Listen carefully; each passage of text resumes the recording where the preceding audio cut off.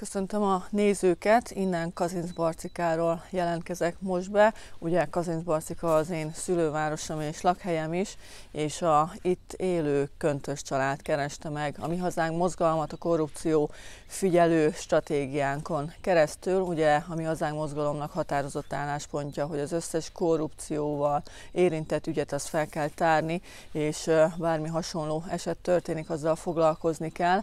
A köntös család egy egészen egyedi és nagyon régi ügyel keresett meg, vagyis már nagyon régóta húzódó ügyel, amiben véleményünk szerint és véleményük szerint is az egyik helyi vezető fideszes politikusnak az anyukája a legfőbb inkább a felelős és büntetőjárást is szeretnének elindítani ellene. A vád pedig az lenne, hogy igenis egy nagyon súlyos és maradandó egészségkárosodást szenvedett a család, családon belül is a gyermek és a, a feleség, és annak következtében, hogy a, a mögöttünk lévő két szélső ingatlan volt a Takarék Szövetkezet és a Sajóvölgye bankrendszernek a tulajdona, és a birtokvédelemben előírt dolgokat nem tartották be, és olyan mértékben túlborjánzott a, a ingatlanokban a penész mind a két oldalról, hogy a középső ingatlan már-már lakhatatlanná vált, de mindjárt megnézzük, hogy pontosan évekkel ezelőtt hogy hatta itt a köntös család ezt az ingatlant, és hogy miken mentek keresztül, és milyen megoldást látnak, és mi a javaslatunk erre az egész korrupciós ügyre.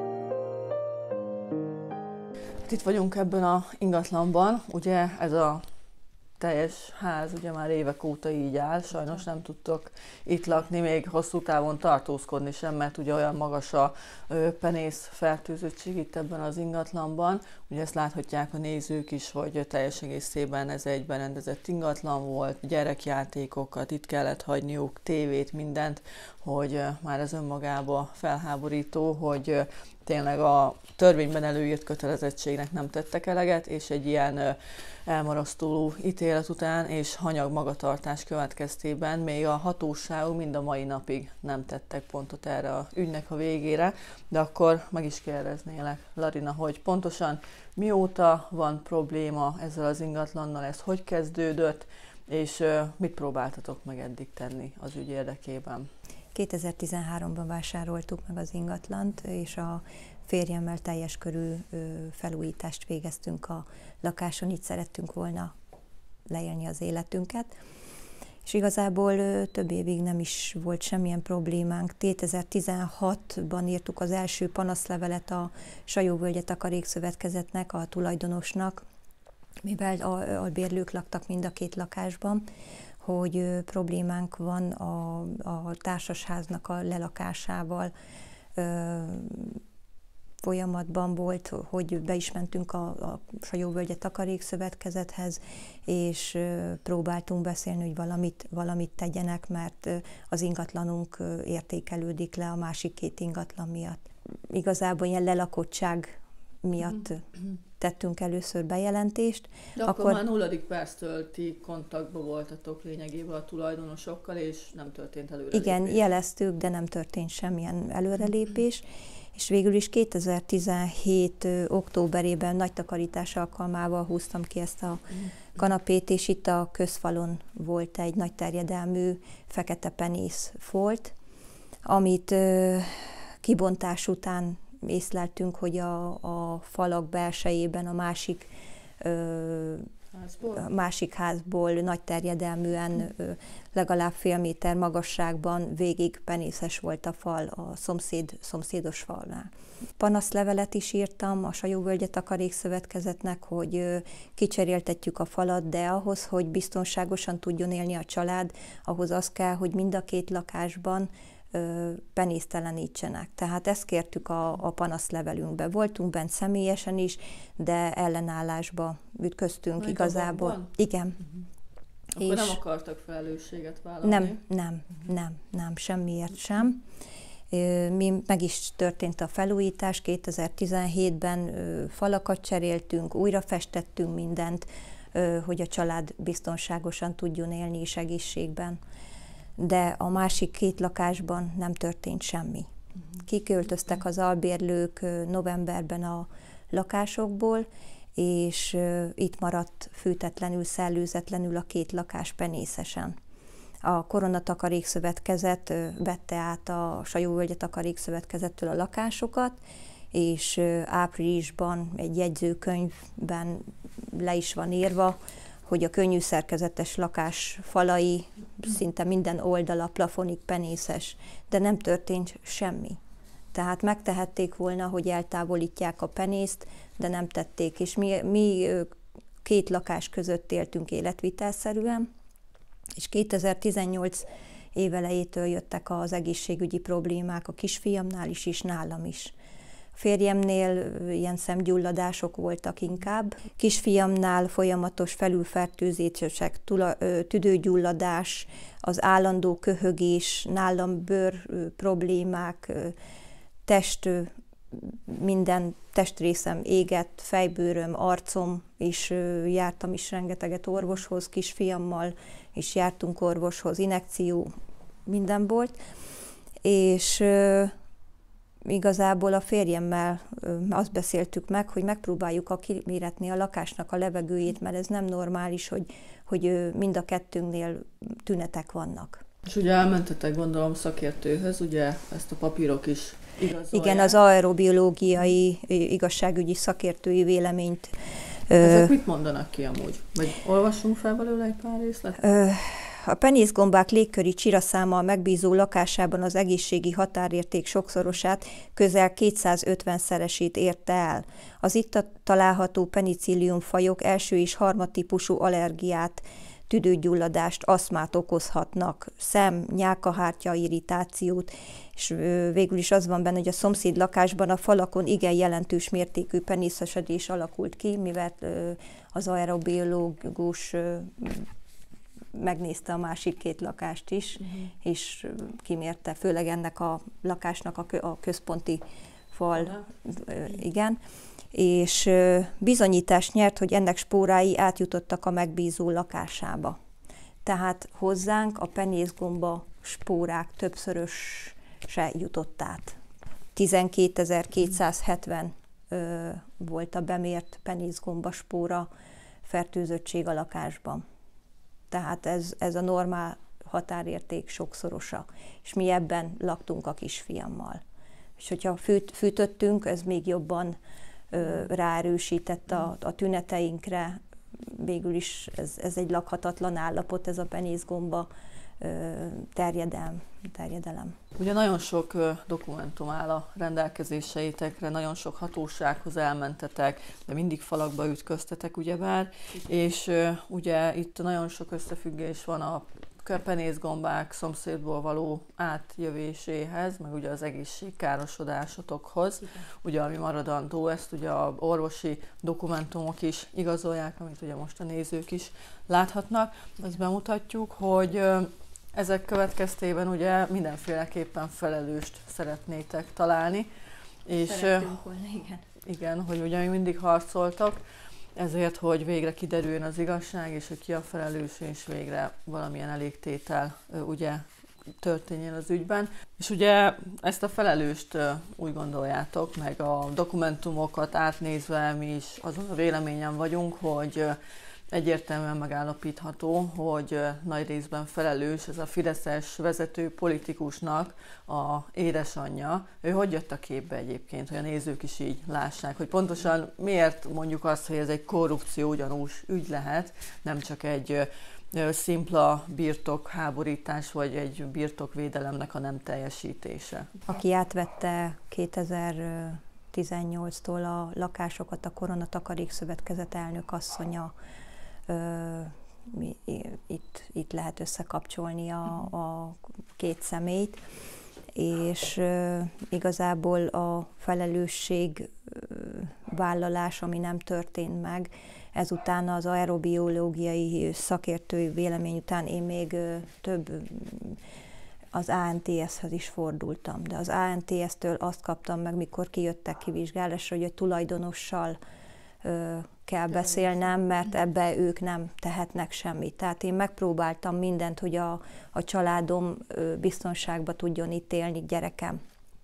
És az aerobiológia után én szakértői vélemény után én birtokvédelmet is indítottam, amit ezután a büntető feljelentést is tettem a Kazincbarcikai rendőrkapitányságon, és elindult a nyomozás, amiben orvosi, építetői, igazságügyi szakértőket kértek ki, és négy személyt hallgattak ki tanúvallomásba a mellettünk lévő bérlőt, aki a lakás társasháznak az építető is volt, és ők laktak itt. A volt cégnek, aki az, ép, az építető cégnek a, a, az igaz, hát igazgatóját, a középső lakásnak a régi tulajdonosát, aki, akitől vettem a lakást, és, és engem. És ez azért fontos elmondanom, hogy ez a négy személy lett kihallgatva, mert hat éven keresztül rendőrségről rendőrségre ment a nyomozás, és utoljára 2018-ban szólalhattam meg sértetként. Itt sem ö, építetői, sem sértetti, sem a takarékszövetkezet két vezetőinek a kihallgatása nem történt meg hat év alatt. A feljelentésemet ö, úgy indítottam, hogy a penész eltáv, nem eltávolítása miatt. Uh-huh. Ez volt a, a, a maga az, a bűnügyi nyomozásnak az indítása. Ment is a nyomozás, és akkor 2019-ben megszüntették a nyomozást.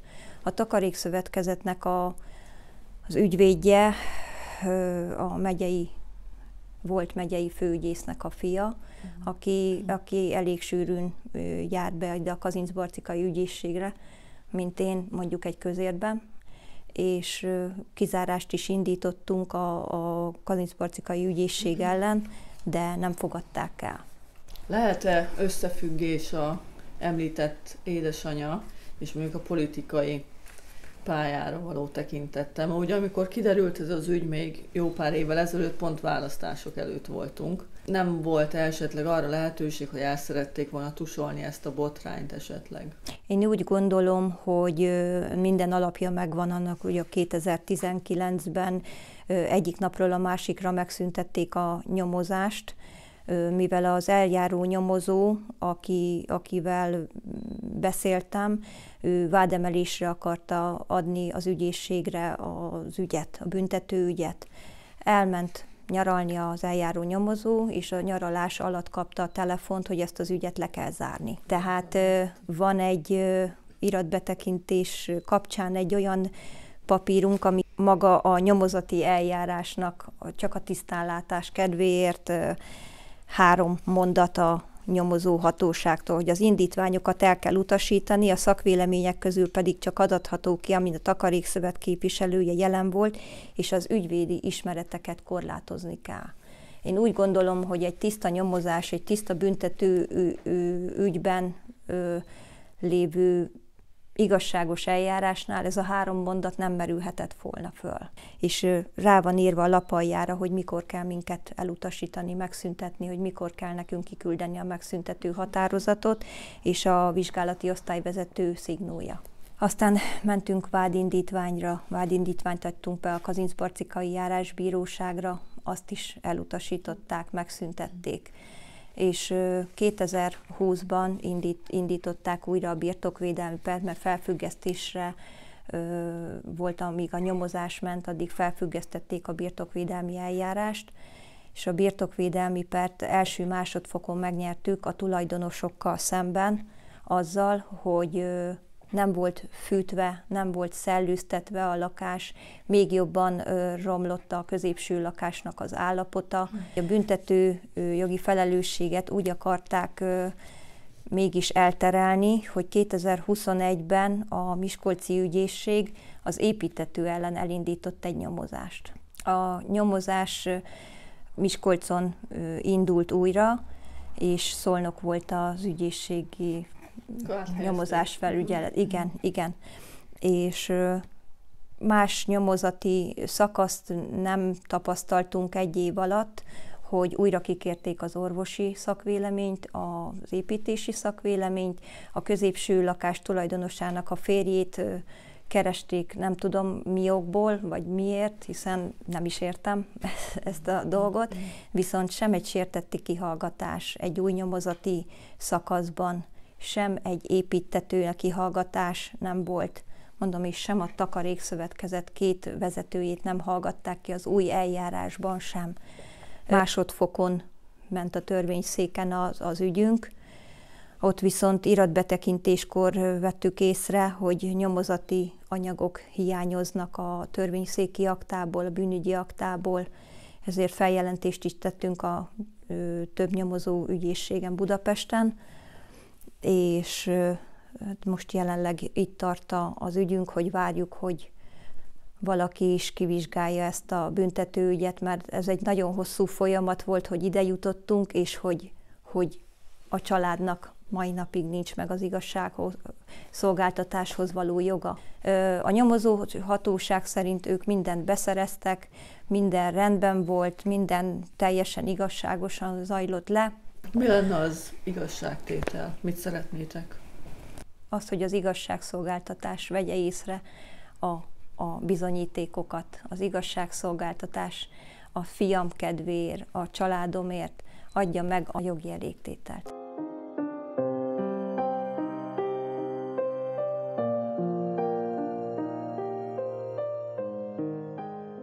Sajnos emiatt a egész penész helyzet miatt ugye már évek óta ugye albéletben kell, hogy éljetek. Fiad, maga több család, hogy dolgozza ezt fel? Gyakorlatilag a, azt tudom mondani, hogy a, az életünket tönkretették.